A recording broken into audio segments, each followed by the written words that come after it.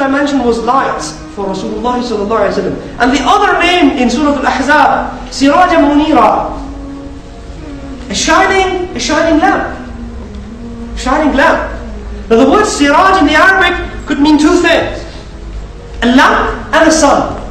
You see, Siraj can be referring to the sun and it can be referring to the lamp. So Rasulullah is a shining lamp or a shining sun. And if we look at both aspects, it's beautiful. We can take both meanings. The sun comes out in the day, the lamp comes on at night. Siraj, me pick up all the books of tafsir. I'm not talking out of tafsir, I'm talking within the remit of tafsir. The Prophet ﷺ, he is a light. And the Mufassirun say it has two meanings. It has one meaning is lamp, siraj, and the other meaning is the sun. And we understand both tafsirs in relation to the Prophet ﷺ. He is the sun of the day, he is the lamp of the night. And he's not just a sun or a lamp. Munira. He illuminates. He shines.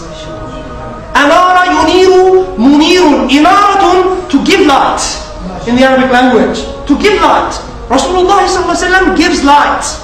That is the light of guidance. Sallallahu alayhi wa sallam.